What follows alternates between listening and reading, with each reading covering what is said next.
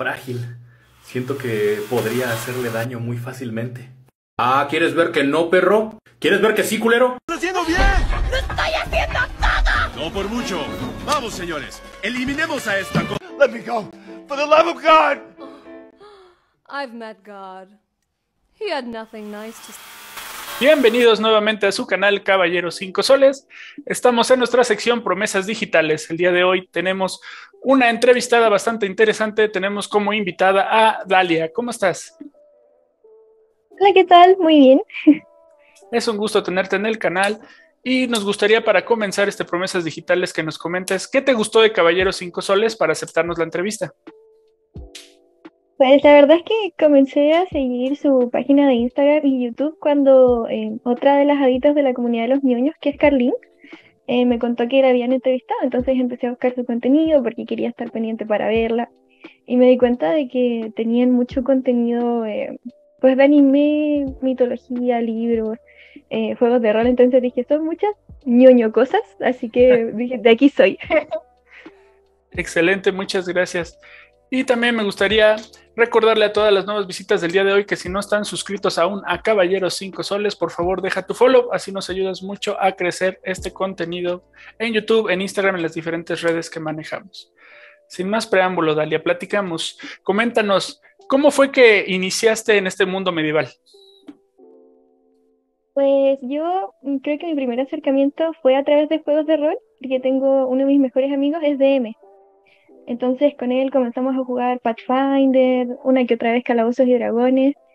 Y después me di cuenta en TikTok que existía una comunidad eh, donde estaba Mary que vio que fueron los primeros que vi, que se dedicaba como esto, a contar las historias de esos personajes que uno comúnmente utilizaría para su juego de rol, pero a través de videos de TikTok. Así que estuve mucho tiempo ahí con ganas de unirme. Y cuando fue uno de los eventos más grandes que hicieron, que fue el evento Escarlata, Em, ahí decidí unir. Platícanos un poquito sobre tu personaje. ¿Cómo lo llegaste a crear? ¿Te costó trabajo? ¿Te dio miedo el decir, bueno, yo estoy viendo los videos que realizan en las redes sociales, específicamente TikTok con el hashtag ñoños medievales, todo lo que manejaban? ¿Te dio miedo decir, bueno, ahora quiero ser una ñoña medieval, estar ahí con ellos? Pues la verdad es que me lo estuve cuestionando mucho porque sí me daba un poco de nervios por el hecho de que soy una persona muy tímida. Tal vez no se pensaría eso de alguien que sube como contenido de redes, pero es más común de lo que parece.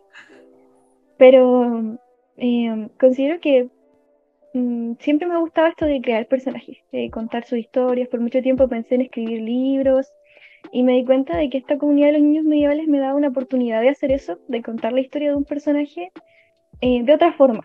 Entonces yo creo que eso fue lo que más me motivó.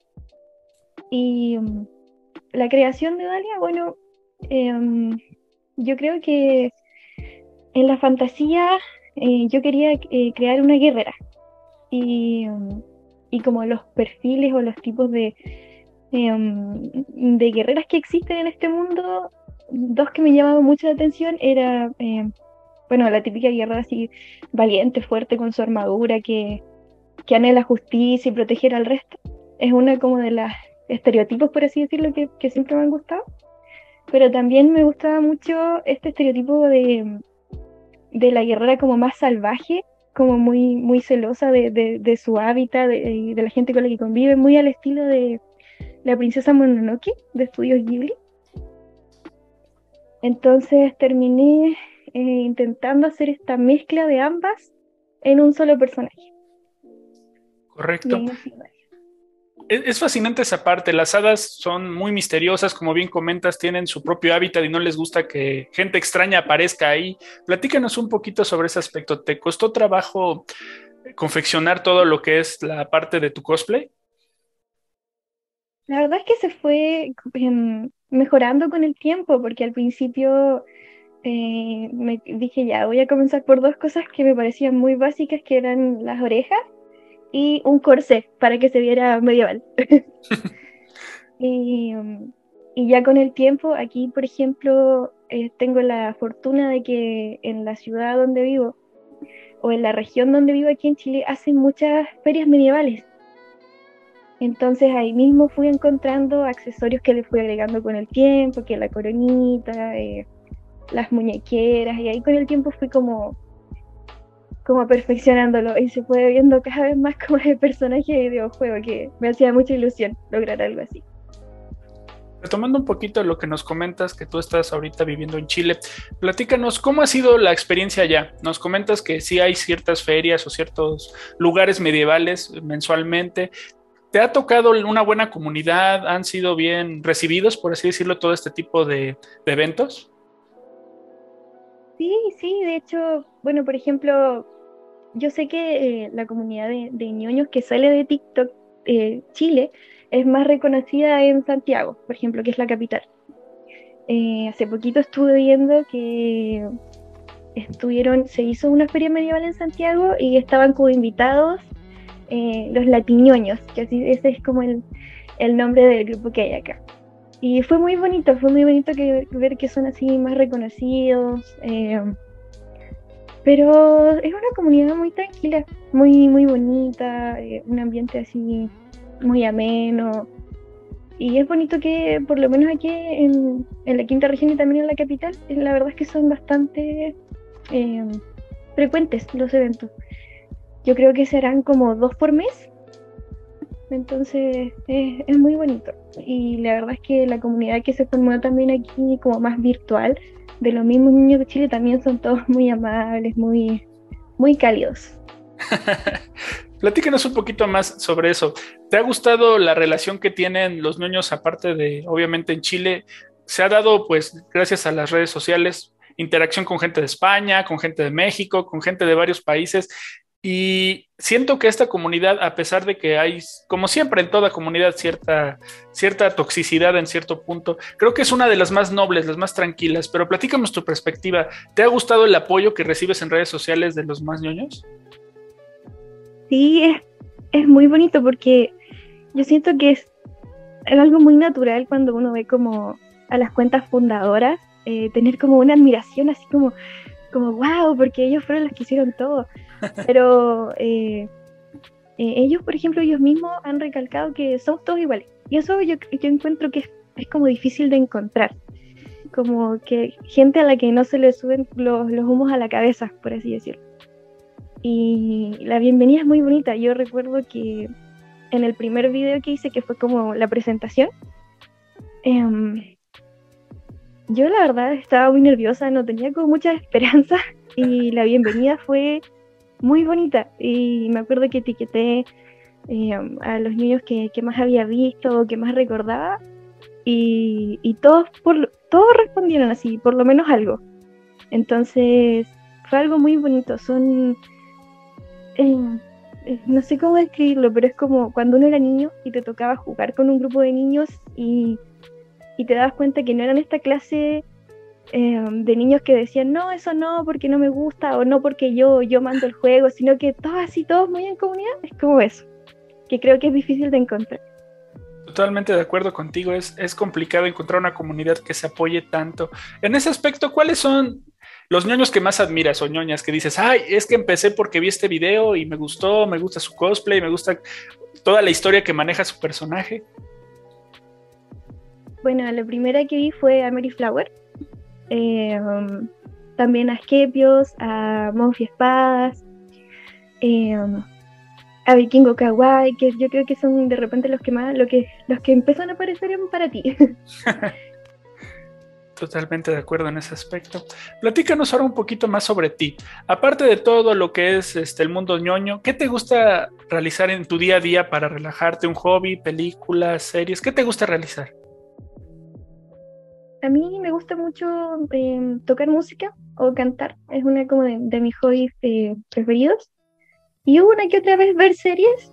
Eh, me gusta también ver anime, pero me pasa mucho que a veces eh, yo suelo escoger como que anime voy a ver por, por la estética, así como, ah, me gusta, me gusta este estilo, entonces voy a ver de qué se trata. Y muchas veces me pasa que como no tengo como una página específica para ver anime, eh, se me olvida que lo quiero ver. No, es, por ejemplo, como, como tener a Amazon Netflix que uno repetitivamente la serie te está saliendo hasta que terminas de verla. Sí. Entonces, me pasa mucho que alguien tiene que decirme como, ya, tentémonos a ver este anime. Y soy capaz de verlo en dos días. Y eso me pasa mucho, que quiero ver una serie y pum, la termino al tiro.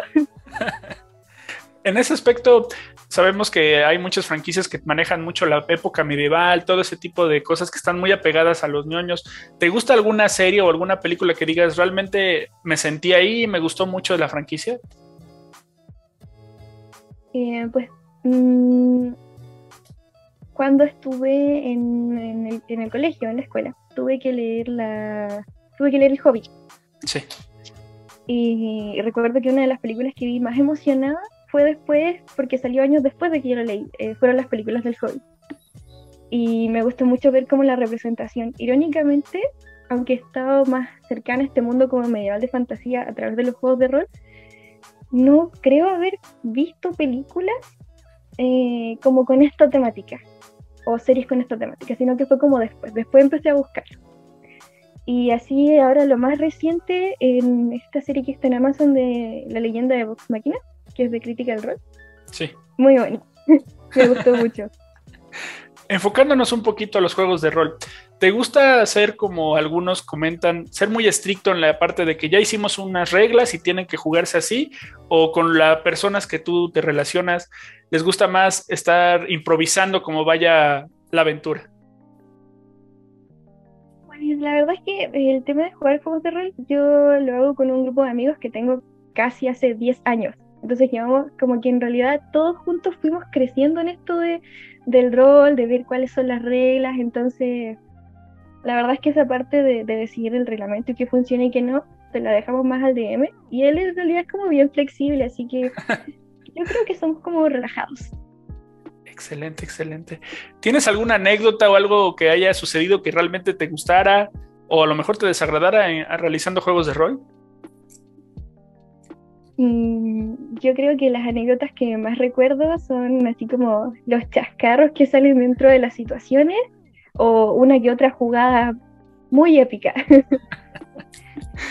Pero, por ejemplo, una que, que, ya se han vuelto como chistes internos en este grupo de amigos. Eh, recuerdo que estábamos en una aventura donde específicamente creo que en esta partida jugamos con fichas que el DM ya había hecho. Entonces agarramos un personaje que ya estaba listo. Y ahí me tocó ser un bardo, que yo encuentro que ha sido la clase en la que yo más he apestado porque no tenía idea de cómo utilizarlo. y teníamos un, no recuerdo si era un mago o un hechicero, que andaba trayendo unos pergaminos que había, los había obtenido como recompensa. Y estos pergaminos, creo que alguien se los había regalado, no recuerdo muy bien, que eran pergaminos de bolas de fuego. Entonces va, y yo la verdad es que era el personaje con, con menos vida, con, menos constitución, así como el más debilucho. Y yo justo estaba junto a él. Y va, y va a usar uno de los pergaminos, y era una trampa, entonces el pergamino explota. Y casi muero, sí, casi muero por fuego, amigo. Entonces ahora justo ese, ese amigo usa muchos personajes que son hechiceros o magos. Y cada vez que va a usar una bola de fuego es como ya, retrocedan todos, cuidado porque le dispara a los amigos. Concuerdo que esas anécdotas son, son bastante peculiares en ese aspecto y, te dejan marcado la, la partida. Platícanos un poquito para la gente que aún no está involucrada en juegos de rol. ¿realmente son tan largos? O sea, sí pueden durar muchísimas, muchísimas horas. Yo creo que va dependiendo de la comodidad de, cada uno de los que está participando en el juego. Porque usualmente eh, nosotros sí, con mi grupo, sí, sí nos hacemos unas partidas así como de cuatro horas por ahí. Obviamente con su descanso, algo para comer y así pero de repente nosotros queremos seguir jugando hasta que el DM nos dice, yo creo que lo dejamos hasta aquí. Entonces yo creo que va dependiendo. Igual, por ejemplo, nos preguntas, es como que están bien, van bien o prefieren seguir jugando otro día. Yo creo que esas retroalimentaciones son las que van ahí marcando el tiempo que dura, ¿no? Y que depende en realidad de, de cada grupo. Coméntanos ahora en cuestión de tu origen de tu personaje, hay muchos que van modificando, van agregando este, ciertos artículos, una espada. ¿Tú tienes algo planeado? Pues em, al comienzo yo solo tenía eh, una espada. Y, por ejemplo, mi personaje en la campaña que estoy jugando actualmente eh, lanza como estos cuchillitos arrojadizos. Entonces hace poquito pude agregárselos como a una funda que tiene justo un espacio para ponerle. Em, pero por ejemplo, hace poco también tuve que comprar una espada nueva porque la que tenía se quebró. Yo creo que por los cambios de temperatura y todo. Em, pero yo creo que en cuanto a las armas, mm, se queda como con eso, más que nada. Las cosas que voy modificando son generalmente como accesorios o partes de la armadura, esa, clase de cosas. Correcto. Enfocándonos en cuestión de, de las hadas, ¿te ha gustado manejar ese personaje? En cuestión de mitología, ¿te gustó su historia? Platícanos un poquito más sobre ello. Ejemplo, eso me llamó mucho la atención. Eh, muchas de, de las personas que interpretan hadas dentro de la comunidad, que hemos hecho ahí un, grupo muy estrecho, eh, sí escogieron su personaje con el conocimiento de la mitología y así con, mucho conocimiento de fondo. Yo la verdad no. yo, por ejemplo, yo solo tengo conciencia desde que era muy niña me gustaban mucho las hadas. yo andaba ahí por la vida con esas alitas, las típicas que venden de disfraces cuando era niña. Y mm, la verdad es que como que estéticamente quise retomarlo, pero desconocía, por ejemplo, de la naturaleza de, su, de las hadas o de las características de su personalidad. Y sí he ido aprendiendo un poquito con las personas de la comunidad que sí saben y que me han ido contando cómo son. Pero yo la verdad no tenía un respaldo así como de mitología, era más como una cosa como estética. En cuestión de creación de otro personaje, ves que algunos tienen una baraja amplia, dicen tengo una hada, tengo un mago, tengo un hechicero. ¿Tienes pensado ampliar tu, tu, tu ahora sí que tu abanico de personajes? Lo he pensado. Eh, de hecho, al principio yo quería entrar a la comunidad de niños con otro personaje que también está inspirado en uno con el que jugué, que era un, un bárbaro. Era como una, una vikinga y con, con una ascendencia un poco demoníaca y bien caótica. Pero se me vio más complicado conseguir como vestuario para ese personaje que para la. Entonces pienso que. Yo digo, yo pienso que apenas puedo con un personaje, pero si sacara a otro, probablemente sería a ella. Probablemente sería ella. Correcto con esa parte de promesas digitales nos vamos a quedar. Ha sido un gusto tenerte en esta sección. Por favor, platícanos en qué redes te podemos encontrar. Claro, estoy en Instagram como eh, Warrior Fairy y Dalia Fairy en TikTok. Excelente, queridos suscriptores, por favor pasen a ver las redes sociales de nuestra entrevistada del día de hoy, van a conocer más sobre el mundo medieval y obviamente de su personaje. Gracias por estar el día de hoy. También les recordamos que si aún no están suscritos a Caballero 5 Soles, por favor deja tu follow, así nos ayudas mucho a crecer todo el contenido que manejamos. Manejamos contenido cultural, geek y deportivo. Muchísimas gracias, Dalia. Nos vemos en la próxima. Bye bye. Adiós. Gracias por ver este video. Si aún no estás suscrito a Caballero 5 Soles, te agradeceríamos mucho que nos regalaras un follow porque así nos vas a ayudar a crecer muchísimo. También aquí te dejo más videos del canal para que conozcas más de nuestro contenido. Y sin más, nos vemos en el siguiente video. Bye.